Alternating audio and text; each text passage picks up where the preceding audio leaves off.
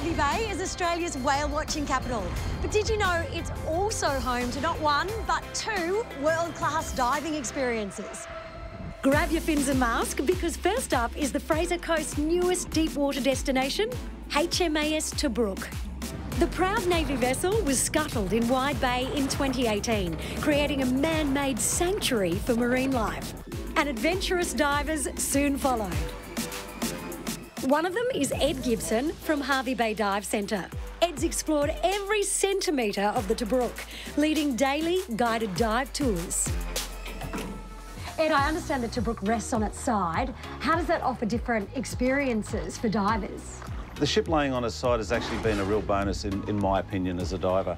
You know, we now have so many more options for getting different certifications of divers down there, from the open water divers right through to the very, very advanced divers. What are the highlights?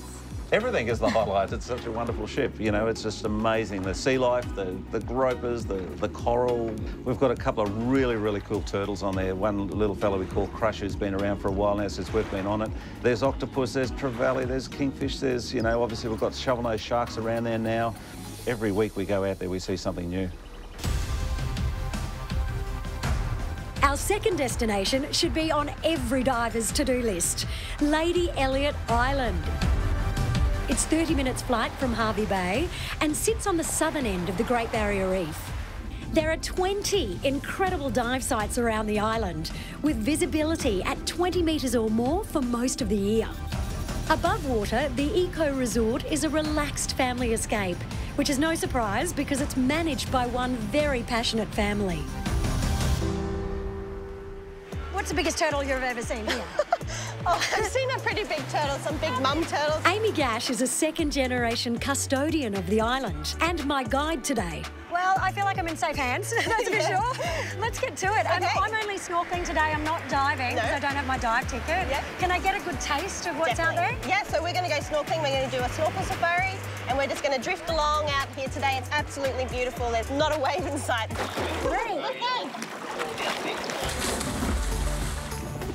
Amy and I are exploring the waters on the western side of the island, where marine megafauna hang out.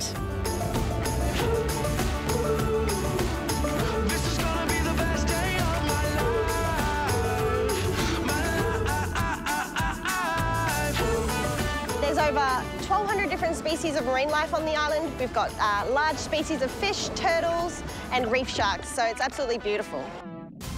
I've heard this is one of the top places in the world to see manta rays, is that right? That's right, so it is amazing. We have been named by PADI as a top five location in the world to actually scuba dive or snorkel with manta rays, so it's absolutely amazing.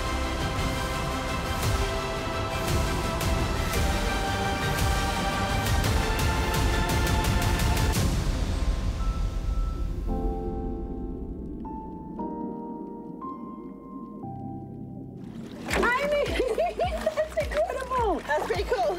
So much marine life right off the beach. No long boat trip no. needed, which is so cool. And how about that turtle? It was huge. It was huge. And the best way to end the day on Lady Elliot? Grab a drink, sit on the beach, and watch the sun take a deep dive into the ocean. Magic. For all the info on the experience of a lifetime, jump on sydneyweekender.com.au.